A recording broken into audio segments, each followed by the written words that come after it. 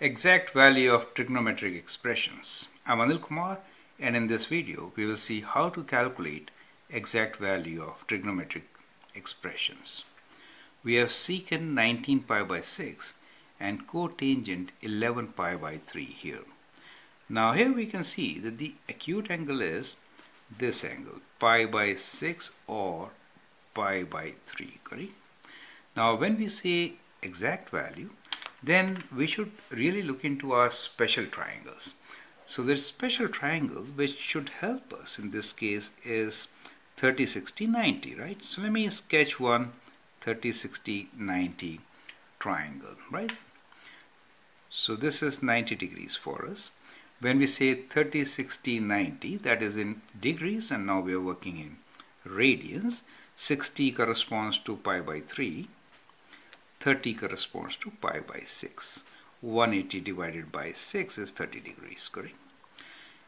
And in this special triangle, ratio of the sides is if the base is 1, hypotenuse is 2, and the side is square root of 3. 2 square minus 1 square, square root. Correct? Now let's look into each trigonometric expression. The first one is secant 19 pi by 6. Now what do we mean by that? We really mean that this angle should be that pi is divided into 6 portions. That is to say, if this is our coordinate system and that is, this pi has 6 portions, so, so we, we get 1, let me divide like this, like this, correct? So 1, 2, 3, 4, 5, 6. So 6 portions pi has been divided into, right? Similarly, we'll extend these here also and we'll have 6 more. So 2 pi is divided into 6 and 6, 12, right? So that means one full circle, 12. And then we have to go up to 19. So let's count after 12.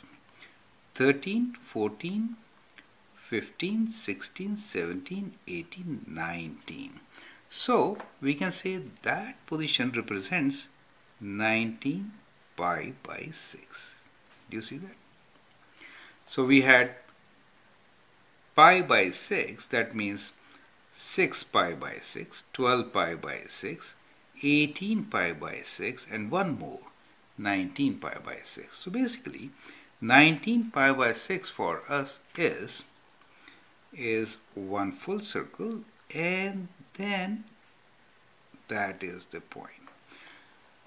Correct? That is 19 pi by 6 now we are looking into secant. What is secant? Secant is reciprocal of cos. Correct? So cos is adjacent over hypotenuse. Secant will be hypotenuse over adjacent side, correct? Which angle? We have to look for the acute angle. Now here the acute angle is this angle which is pi by 6, correct? So acute angle is pi by 6. We are in quadrant, we are in quadrant, this is 1, this is 2, this is quadrant 3, this is quadrant 4. And we know the cast rule, right? Cast rule is Cos is positive in quadrant 4, all are positive in quadrant 1, sine in quadrant 2, tan in quadrant 3. Secant is 1 over cos, correct? Since it is related to cos, it is negative here. So we get a negative value since we are in quadrant 3. That's the first part. Now, related acute angle is pi by 6. So cos of pi by 6 is what? Cos of pi by 6 is square root 3 over 2. So secant will be 2 over square root 3, right? So we have 2 over square root 3 as the value of secant 19 pi by 6. I hope you understand and appreciate it, right? Now let's look into cotangent of 14 pi by 3. So we'll follow the same method, right? So say here again 14 pi by 3. That is to say that our pi is divided into three portions. So starting from here, we have one portion, 2 portion, 3 portion, right? So that is 3, right? And then 4 portions, 5 portions, and 6. So these are 6 portions. We have to go to 14. Now 14 means what? So 6 and 6, 12, 13 and 14. So it is 6 and 6, 12, 13, 14. So you end up there, correct?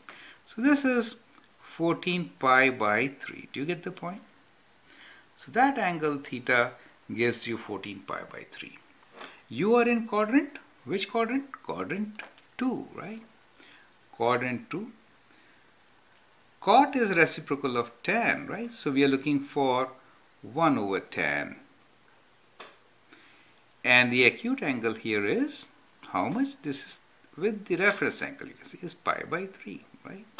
So it is tan pi by 3. Is that okay? But we are in quadrant 2, so it's a negative value, correct? And therefore, we can write down now the value. Pi by 3 cotangent. Tan is opposite over adjacent. Cotangent will be adjacent over opposite. So it is negative 1 over square root 3. So that is our answer. At times, what we do is we rationalize it. If you rationalize it, in that case, let me write after rationalization. So we have minus 1 over square root 3. Rationalization means multiply by square root 3 and divide by square root 3. So we get negative square root 3 over 3. So this is another way of writing the same answer. But I hope you understand and appreciate how we got the value, right? So you should first figure out in which quadrant you are, then apply the cast rule so that you know whether it is negative or positive. Find the reference angle or the acute angle or the related acute angle. Based on that angle, look into your special triangle and then write down the exact value. That is a process we need to follow. I hope you understand and appreciate. It. Thank you and all the best.